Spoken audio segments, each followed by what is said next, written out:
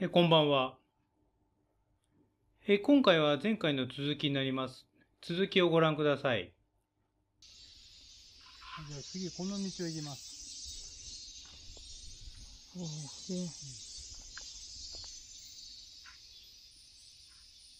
この道。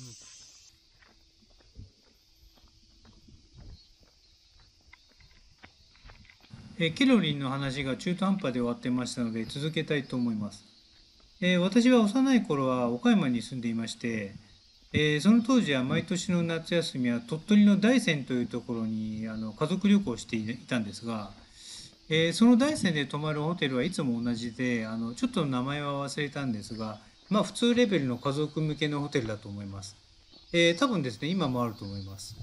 えーそのホテルにはですねもちろん大浴場があって、えー夕方くらいですかね、えー大浴場に入ると窓が開いていて、えーそのその窓の外から日暮らしの鳴き声がいつも聞こえていました。いやあのですねこれ本当に風流で、えー特にですね大浴場の脱衣所であの風呂上がりに聞くですねあの日暮らしの鳴き声は本当に風流でした。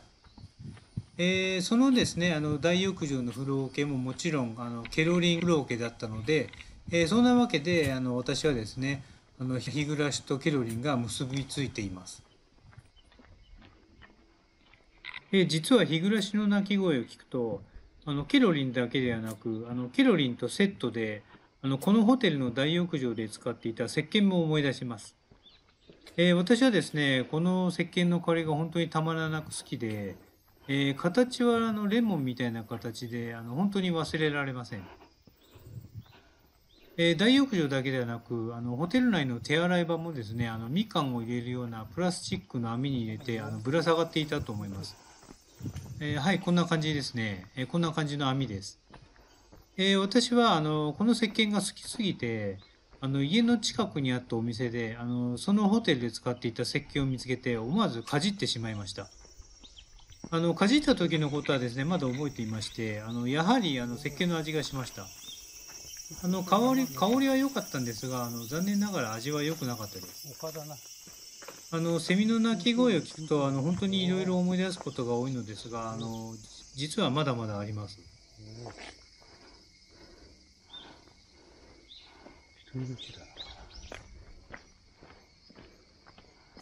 はい、目的地点に到着しました。えこの道を外れた左側です。えーここです。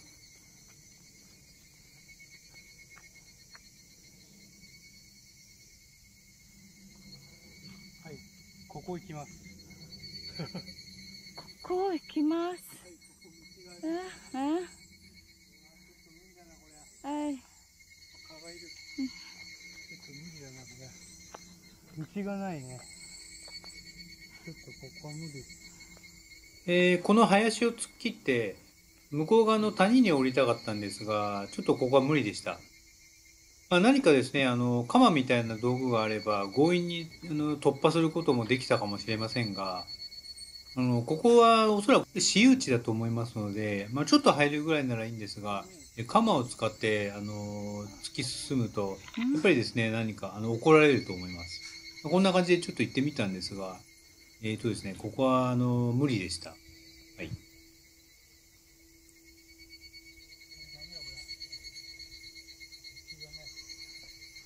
がない。道がないので、ちょっともっと違うところから行くようにしましょう。ちょっとここ無理。はい、今ですね。えーこの空き家のところからスタートして、この道をどんどんこのように歩いて、えー今ここに到着したところです。えーここからですね、この山林を突っ切って、この谷に出て、えーこの谷をぐーっと歩いてですね、えーこの千葉県の中心に行こうと思ったんですが、えーこの山林はですね、とてもではないけど、あの越えられるところではありませんでした。えー残念ですが、えーまたですね、あの車のところまで戻ってですね、えーちょっと違うところを探したいと思います。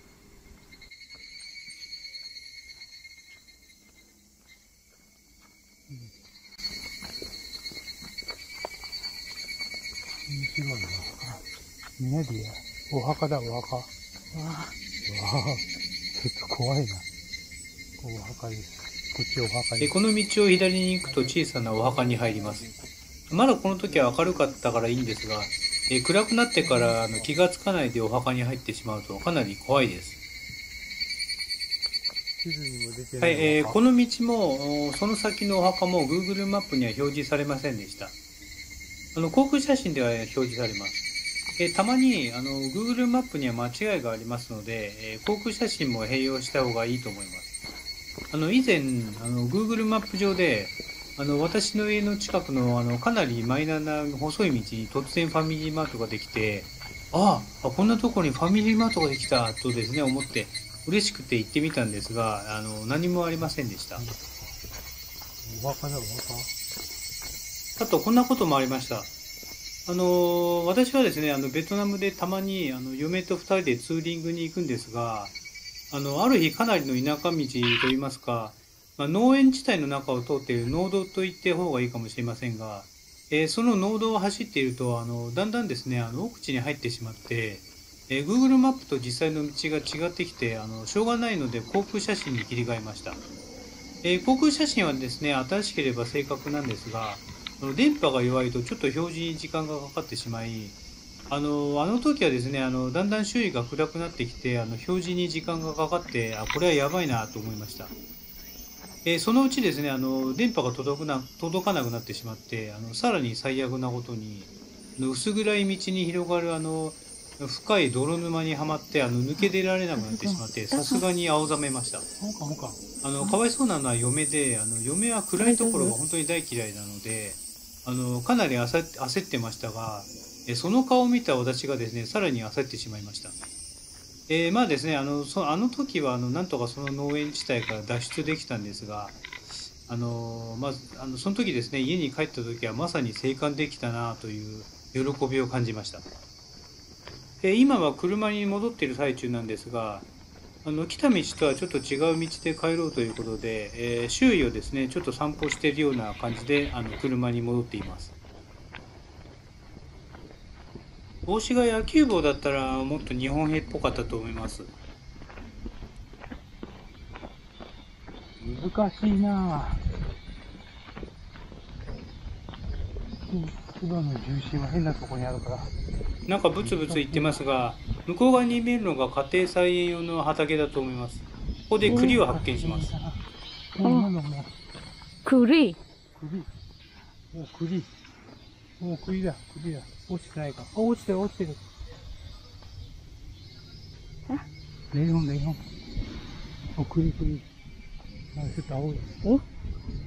あえー栗はまだちょっと食べるには早かったみたいです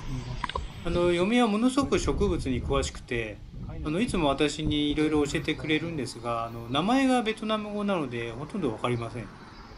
あ一応ですね私はなんか分かったようなふりをしてあの返答はしています。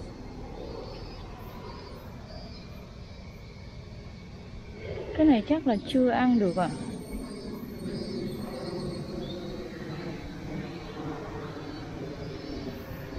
ồ to ok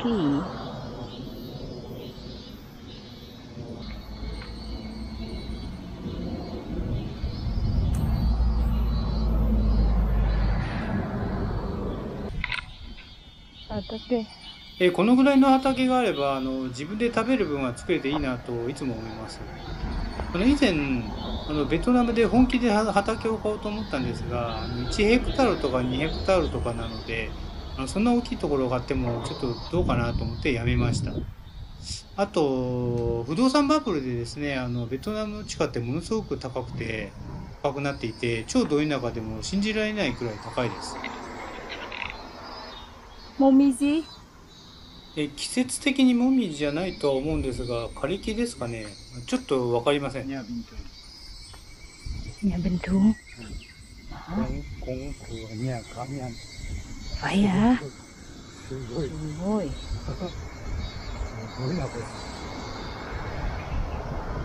ヤムニ。み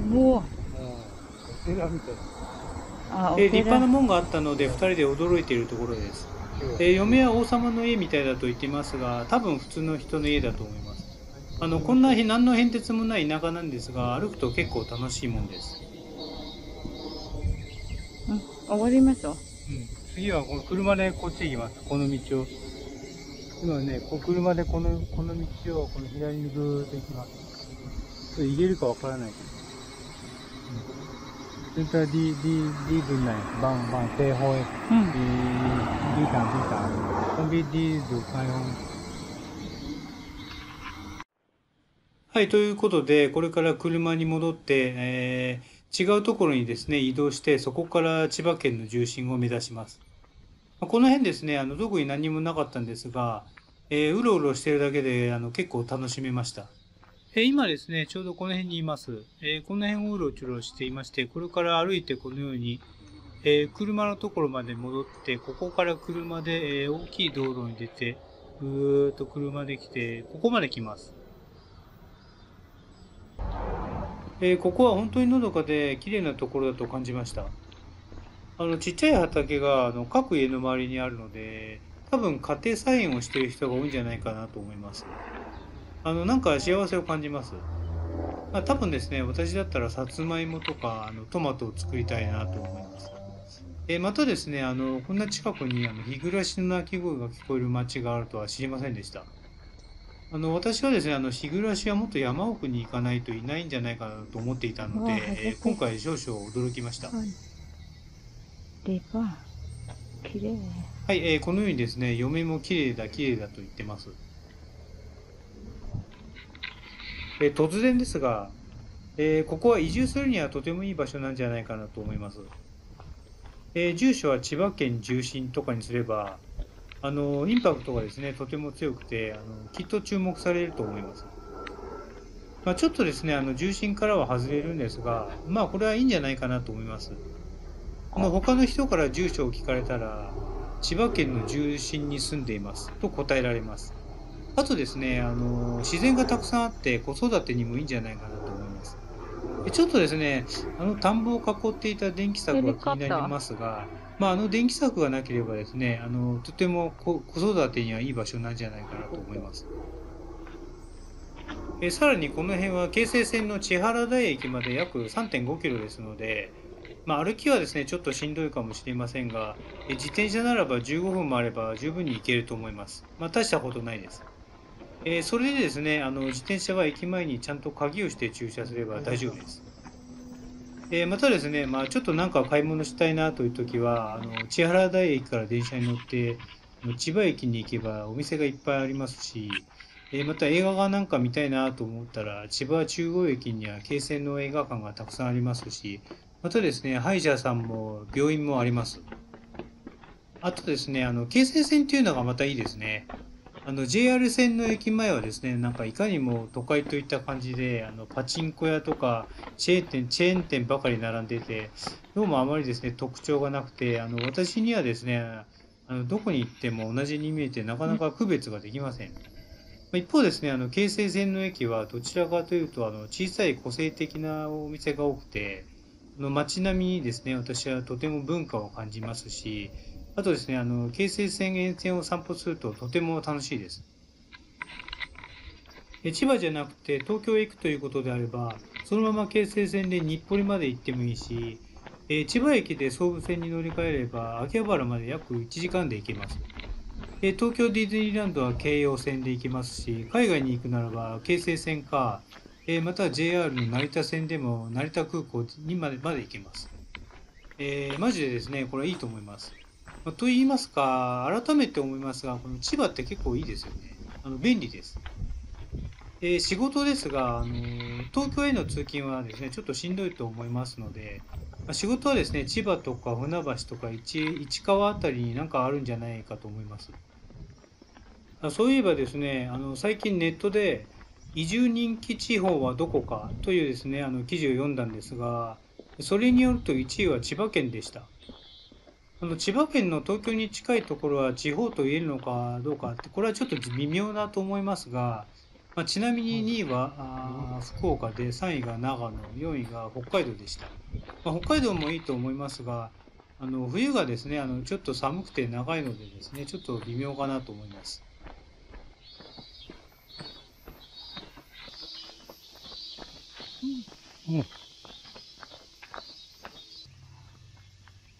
はい、それじゃあ車に戻ります。こ、ここから入るのはちょっと難しいので、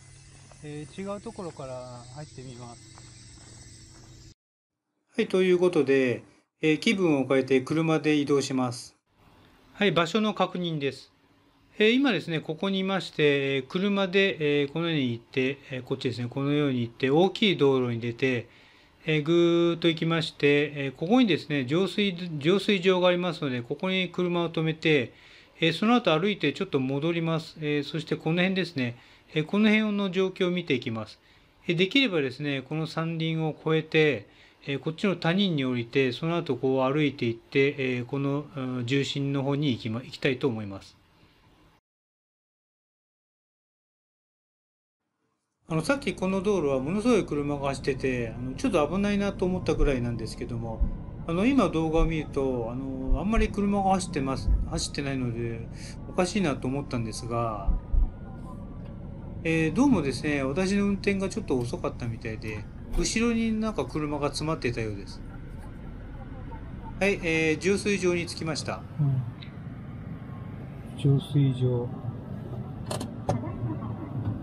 水場。えーすいません、えーこれは何て読むのか分かりません。えー今、えー今この浄水場にいるんですが、止。えー歩いてですねこっちに戻る前に一度こっちのあのゴルフ場をちょっと見に行くことにしました。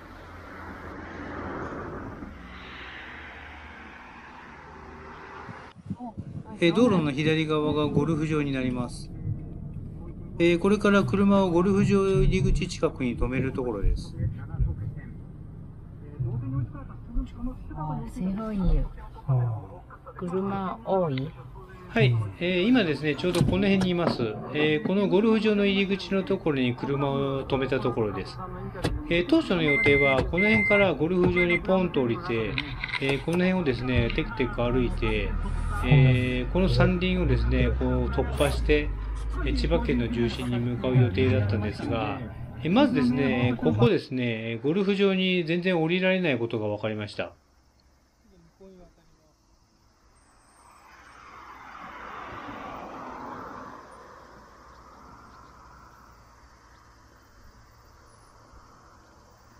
はい、ここですね。えーご覧の通り、えー全然降りられそうもないところでした。えー仮にこの辺からゴルフ場に潜入できたとしても、あのゴルフ場はボールが飛んできますので非常に危ないので、えー今回はですね、このゴルフ場を突っ切るは、えー計画はやめにしました。まあ、そもそもですね、あのゴルフ場に勝手に入っていいのかという問題もあります。えーということで、えーこれからですね、ここからあの浄水場まで戻って、ここで車を止めて、えーこここから歩いてですね、この辺まで行って、えーこのこの辺の状況を見たいと思います。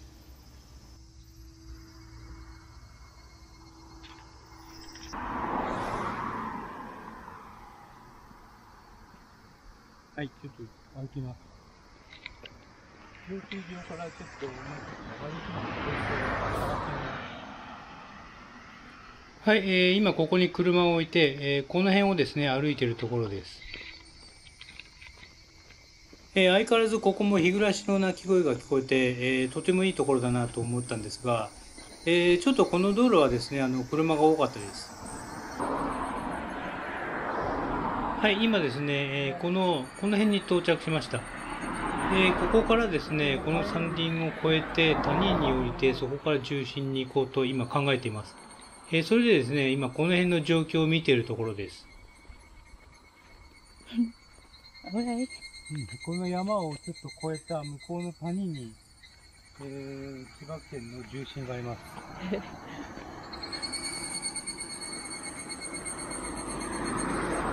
これ無理ですね。ここから無理ですね。もうちょっと歩いてみ、歩きましょう。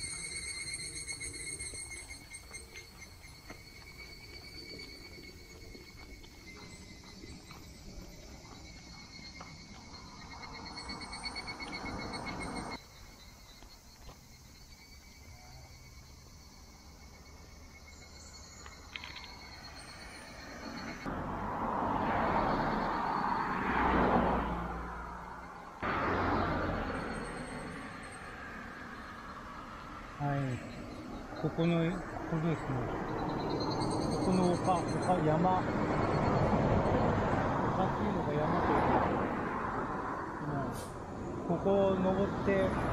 越えた向こう側に、えー、こ今ここですね、今ここ。今ここ。はい、今ここにいます。ここですね。えー、それで、えー、ここが、この黄色いところが千葉県の重心になります。えー、今ここに行くには、ここから千葉県の重心に行くには、この、え、山というか、丘のような、えー、山林地帯をですね、越えていか、あの向こう側の谷に降りないといけないです。えー、ここから行くのは非常に困難です。えー、先ほどはですね、こっちの谷からこう歩いて行ったんですけども、えー、これもですね、えー、途中で、えー、木に覆わ、木に、木に阻まれていけませんでした。はい、今日はですね、千葉県の中心に行ってみたんですけども、えー、非常に行くのが困難でした。それで、あの、今日は断念することにします。はい。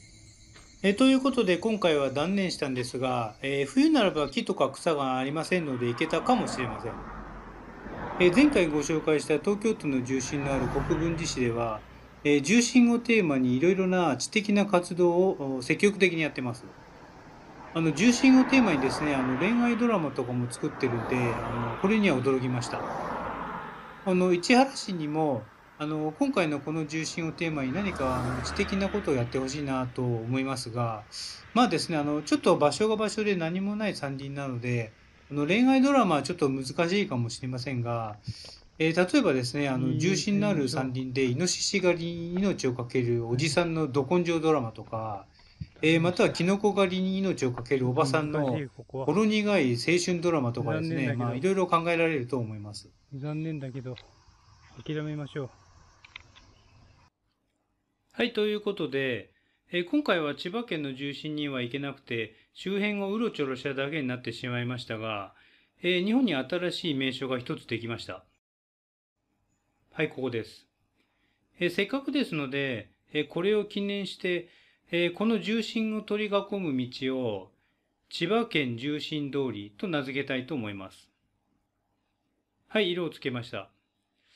えーこのオレンジ色の道を千葉県重心西通りとして、えーこの赤い道を千葉県重心南通りとして同様にして、えーこれを、えー重心東通り、えー重心北通りと名付けます。えこの重心の周りですね、えこのようにミツバチ牧場だとか、え有機野菜と蜂蜜、えまたここですね、奈良の大仏、ま奈良の大仏がなんでここにあるのかちょっと私にはわかりませんが、え他にはここにゴルフ場がありますし、え帝京平成大学もここにあります。え周辺はいろいろ面白そうなところがたくさんありますので、え休日に遊びに行くのも楽しいと思います。えー特に夏は日暮らしが鳴いていて癒されますので、えー散歩するだけでもとても楽しいと思います。えーそれでは今日はこれで終わりにします。おやすみなさい。